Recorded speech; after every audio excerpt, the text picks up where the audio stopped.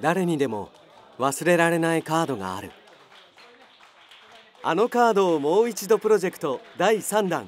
豊見城対南西。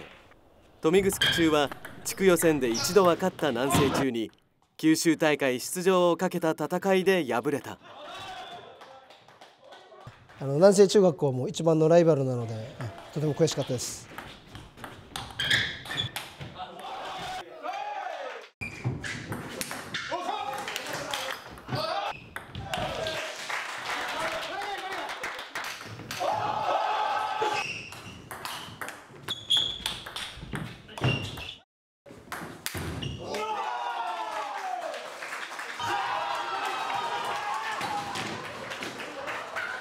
やっとで心よく眠れると思います。はい、リベンジされて、えーと、悔しかったんですけれども、えー、とても楽しくできました。忘れられないカードにオークス